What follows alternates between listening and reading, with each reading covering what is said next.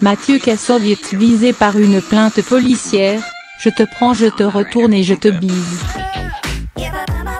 Bande de bâtards.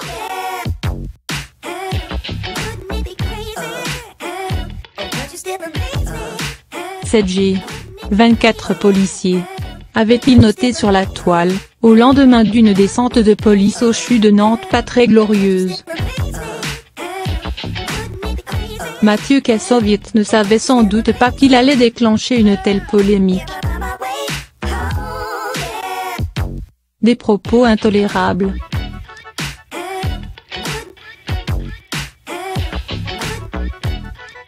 Habitué du, le réalisateur de a reçu une réponse musclée des forces de l'ordre. Un syndicat a contacté cette semaine Gérard Collomb pour se plaindre.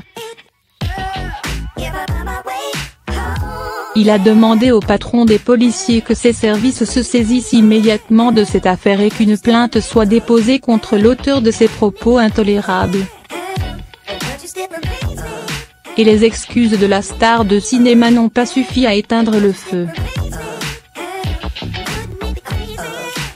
Vendredi 29 décembre, après Nadine Morano, le député et l'air Eric Ciotti a tweeté à son tour, de telles insultes envers nos forces de l'ordre, qui accomplissent un travail remarquable au service de la sécurité de nos concitoyens, doivent être poursuivies devant la justice.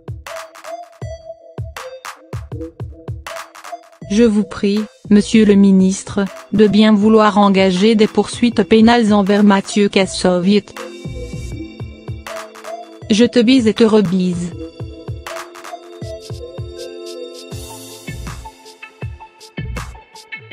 Et d'ajouter, ces propos sont d'autant plus graves qu'ils émanent d'une personnalité médiatique particulièrement suivie sur les réseaux sociaux.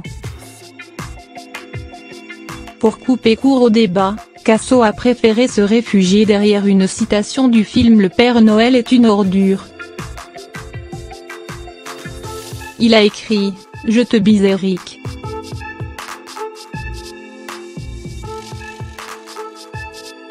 Je te bise et te rebise.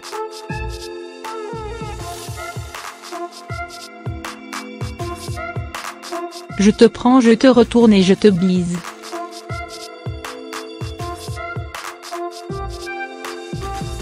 Au moins, personne ne pourra plus l'attaquer avec ces mots.